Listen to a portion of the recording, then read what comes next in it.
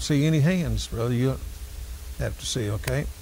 Uh, our walking companions, and we dealt two weeks ago with rejoicing or joy. And uh, the fact that the Christian life we has been uh, illustrated by the way we walk. And I put the scripture up here, 1 Thessalonians 4 and verse number 1, that says, Furthermore, then, we beseech you, brethren, and exhort you by the Lord Jesus, that as ye have received of us how ye ought to walk and please God, so ye would abound more and more. So our Christian walk is the way we live. It's how we portray ourselves, how we portray Christ in our life. It's how others see Christ in us. Know, we are the only epistle some people will ever read. And uh, if somebody is looking for help, for hope, and they look at uh, what we call a sourpuss Christian, then are they going to want that kind of Christianity? Someone said that if all you do is joy and rejoice, then that's where the wildfire comes in. There's nothing to stabilize you. And then the second one we dealt with is praying. Pray without ceasing. And we said that it does not mean pray 24 hours a day because you cannot do that. Jesus didn't do that. Uh, but it means, uh, number one, to be in an attitude of prayer uh, when things come upon your mind to pray, but it means not to give up.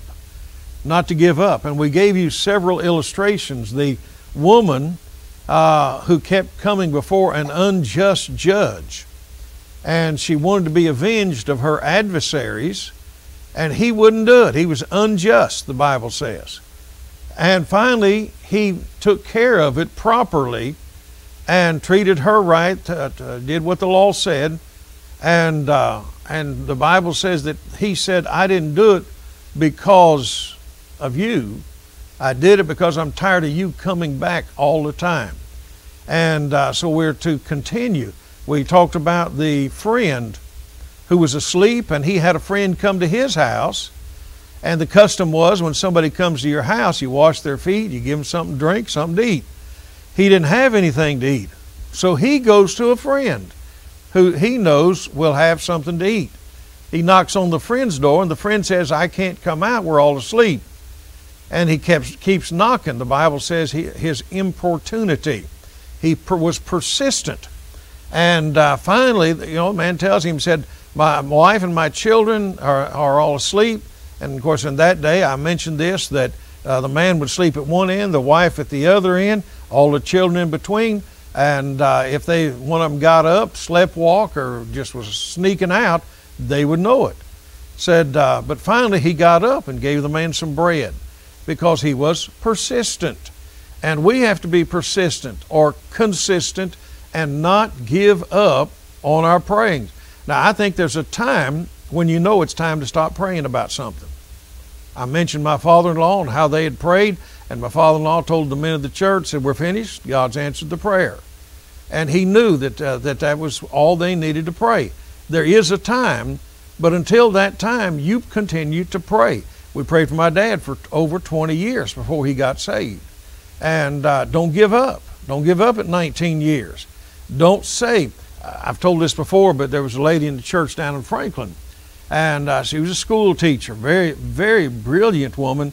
Uh, her and her husband, both of them, were brilliant people, uh, but they was those brilliant people without a lot of common sense. They were good folk. Uh, but boy, one day she'd come to church and she'd say, I'm not praying for my kids anymore. I'm tired of praying for them. Every time I pray for them, they get worse. And I said, Well, sister, maybe God's dealing with them and they're just rebelling. And uh, these weren't kids at home, these were grown kids. And uh, they, these people were in their 60s at that time. I said, don't give up on them. Boy, if she might come back on Wednesday night and say, Preacher, I'm praying for my kids again. She said, I saw a glimmer of hope. It's not about what you see. You just keep praying. Uh, and in fact, tonight when we talk about thanks, uh, look on the inside of our of your outline there. I think that's where I put that.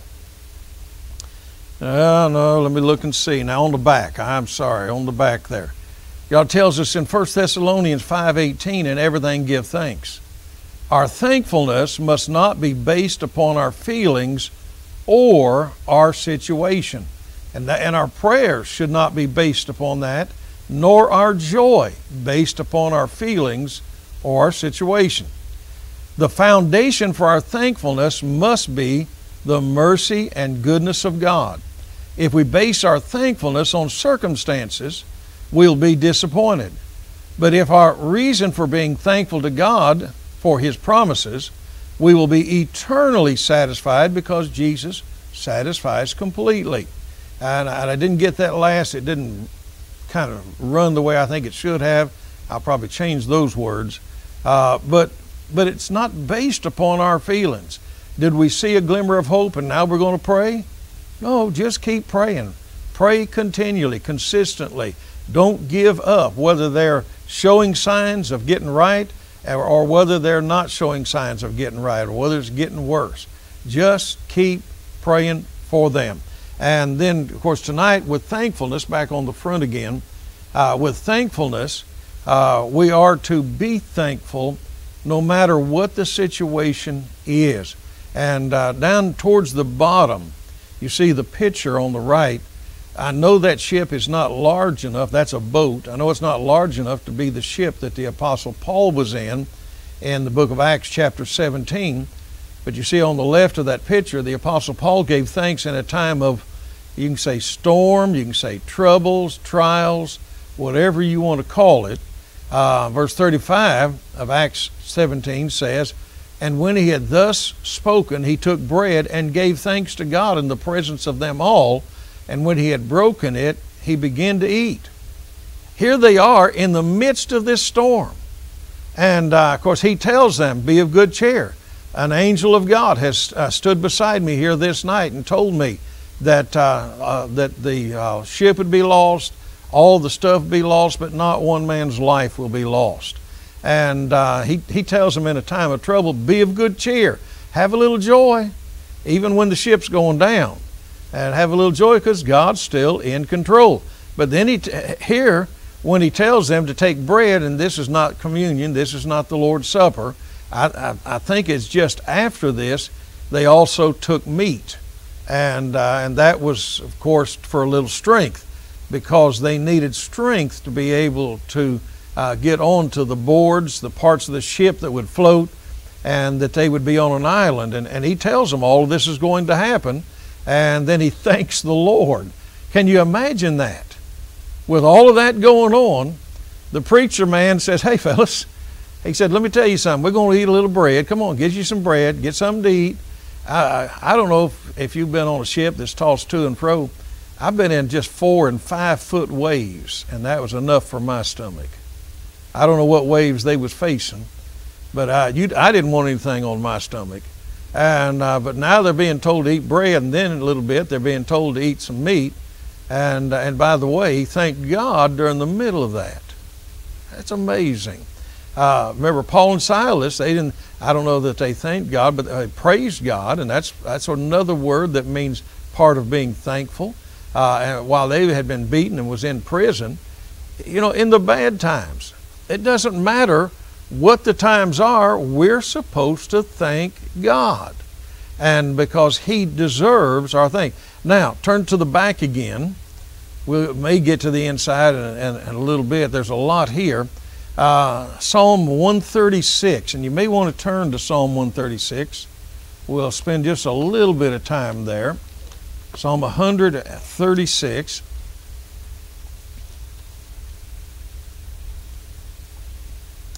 In verse 1, I've got verses 1 through really the first part of 4, but look at Psalm 136. Verse 1 says, Oh, give thanks unto the Lord, and it tells us why.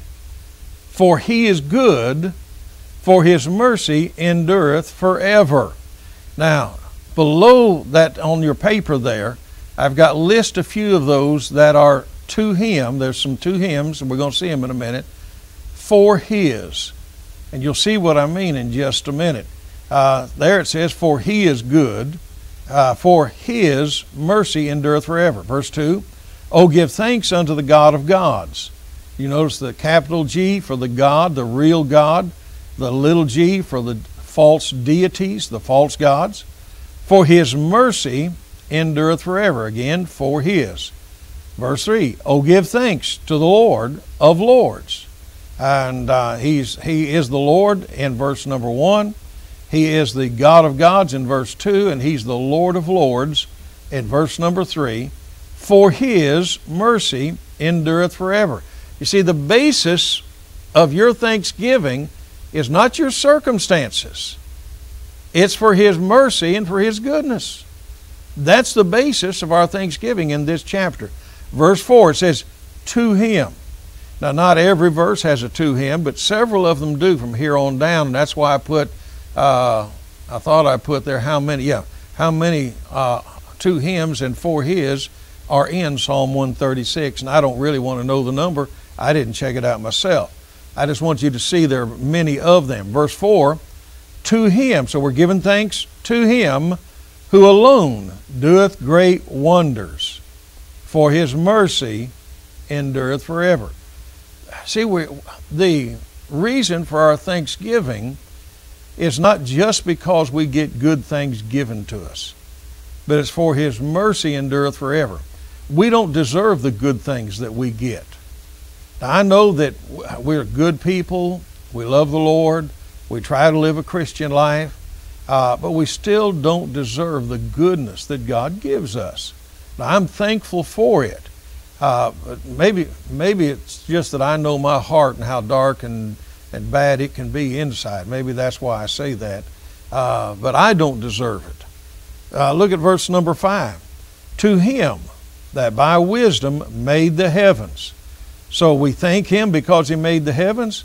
Well, we thank him for his mercy endureth forever.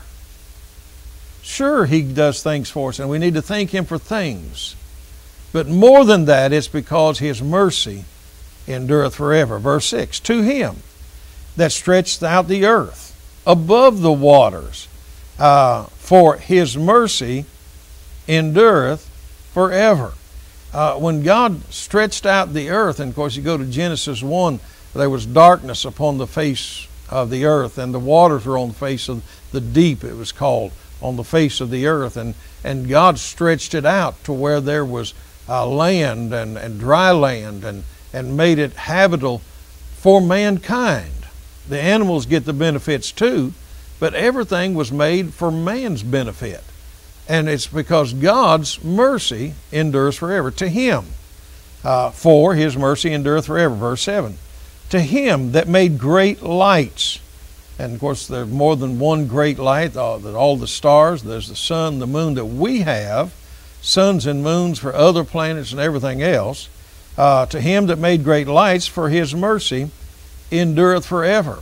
See, there was light upon the earth before the sun was ever created. I've studied that quite a bit. The Bible tells us that uh, in eternity, that Jesus will be the light of heaven. There'll be no need for the sun, there'll be no need for the uh, moon, because Jesus is the light of heaven. Since Jesus was the one who created the earth, the Bible says all things were created by him. And uh, we find that um, it tells us in John 1 in the beginning was the Word, and the Word was with God. And that means in the beginning, when the creation took place, we know that the Word was Jesus, because verse 14 says the Word was made flesh and dwelt among us. Jesus was the light of this earth before there was ever a sun. I don't understand all of that, but that's what the Scripture teaches. And uh, but He made the suns. Verse 8 says, "The sun to rule by day, for His mercy endureth forever. Uh, you say, well, preacher, maybe we need some more sunlight. You know what would happen if we had sunlight 24 hours a day? This earth would be a desert. There has to be a night time. There has to be a time for things to, for the sun to go down, to cool off, and uh, and then there has to be the moon. Uh, and I don't know what all it does for the earth, I do know that it, it changes the tides and a lot of other things. Um, you know, uh, just a lot about it scientifically. Uh, and it has to be here for us to have the kind of life that we have. It goes on, says the moon, the stars to rule by night, for his mercy endureth forever. See, all of that that he's done is because of his mercy, and it endures forever. He loves us. You know, one of the reasons to be thankful, and I don't think I put it on the list. Uh, let me make one turn on my page right here on the inside bottom part, and I didn't. I was going to put there where on the first one instead of Jesus saves, we can be thankful for that, but but that He loves us. I was going to put that His mercy endures forever. I was going to put those two to start it off with, and I think I run out of time and room to put it in there. Uh, but thank the Lord that He knew how to set all of this up. All of creation could not work without the Lord creating it the way He did. And the Bible says, by Him all things consist. That means by Him all things hold together. It's by Him we have gravity. I don't understand all about there's two layers, I think they say, of magma, uh, the core of the earth, and then one, I don't know how many miles down, there's another magma core, and uh, that allows the earth to revolve and rotate and do all the things that it does. It creates a magnetic field without which uh, the earth wouldn't work. Uh, if that magnetic field gets too weak, uh, then uh, we're unhealthy and die. If it gets too strong, the same thing. Things don't work the same way. God created it in, in a certain way. He created it to last for as long as it needs to last, and then there will be a new heaven and a new earth.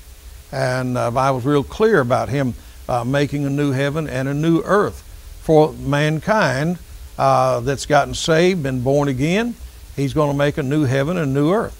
It's an amazing thing when I see all that and the Bible tells us all of these things we get because of His mercy, not because we deserve it. His mercy endureth forever. Look at verse 10. He's talking specifically to the children of Israel, but we can make an application to us, to him that smote Egypt in, when they're first for his mercy endureth forever. Uh, they, they wasn't going to let the children of Israel go.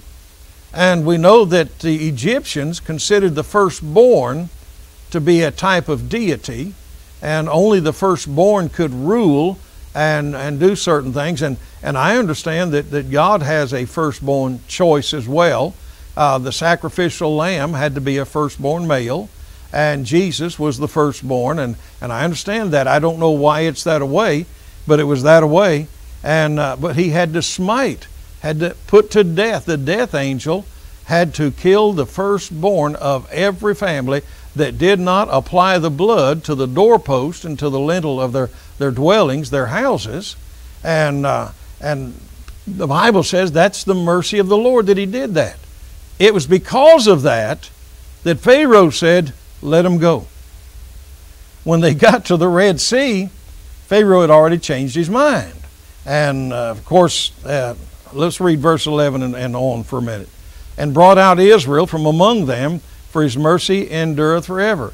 And uh, with a strong hand and with a stretched out arm, for his mercy endureth forever. To him which divideth the Red Sea and departs, for his mercy endureth forever. And made Israel to pass through in the midst of it, for his mercy endureth forever.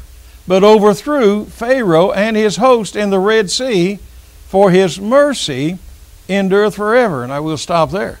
Uh, it was God's mercy that caused these tragedies so that Israel could learn who God is, how powerful God is, learn to follow Him. Of course, they didn't do a very good job, uh, but to follow Him through the wilderness. And He's showing His mercy to Israel, but He's judging the other nation. Any nation that attacks Israel, and boy, I heard the other day that uh, our Congress, is it Congress? I don't remember what, uh, wasn't, maybe it wasn't Congress, maybe it was the Senate. Uh, maybe they weren't in Congress, but the Senate voted not to send over a billion dollars to Israel for their Iron Dome. That they've stopped the next money right now, whether or not they can keep it stopped or not. And what I heard about it, of course, is you know, this Iron Dome is just a defensive weapon. They can't hurt anybody with an iron with their iron dome. But our country, our leaders in Washington D.C., and I'm sure now that I think about it that it was the Senate uh, that did it, and uh, they said we are not going to send this money.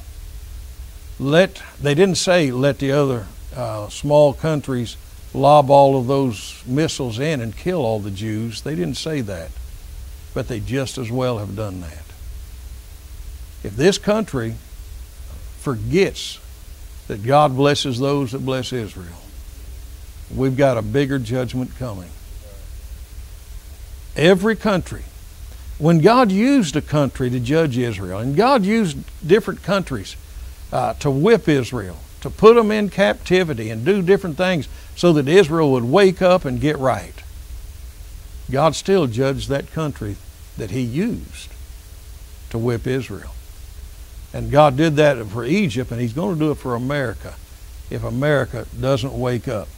It says, But overthrew Pharaoh and his hosts in the Red Sea. That's in verse 16. To which he led his people through the wilderness, for his mercy endureth forever. I want you to notice that they didn't wander in the wilderness. He led them in the wilderness.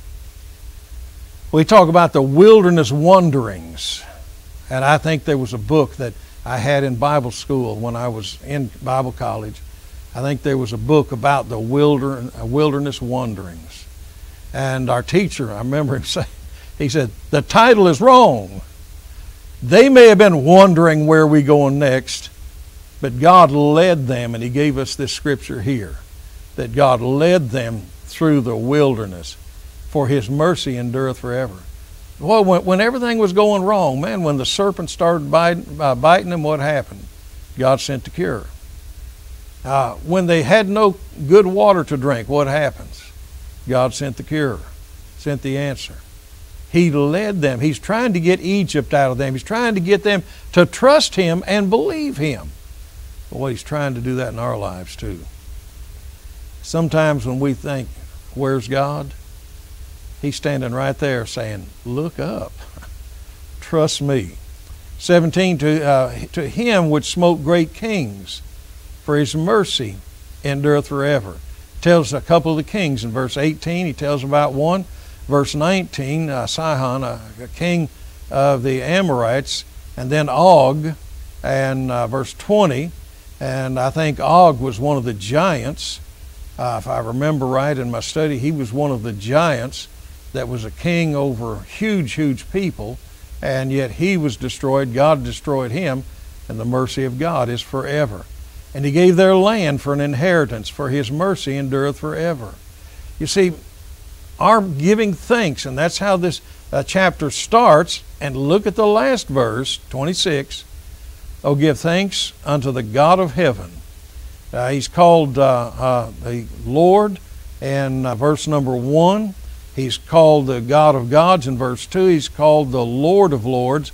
And now he's called the God of heaven in verse 26 for his mercy endureth forever. They're all talking about God. They're giving different descriptions of him.